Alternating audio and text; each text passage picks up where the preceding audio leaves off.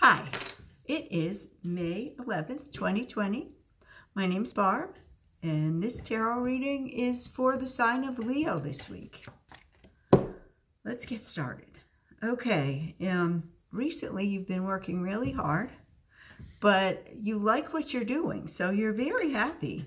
And uh, you're coping, you're coping because you're just making a shit ton of money. So you're very happy with that um, or you have been, but right now you feel eh, you you you have options, but you really don't like any of them. And um, soon there will be some healthy competition. Not the bad kind that they're cutthroat, but the kind that, you know, just makes you do better. And the outcome is you're going to realize that even with this um, competition, you have all the tools you need to get the job done. Not a bad week.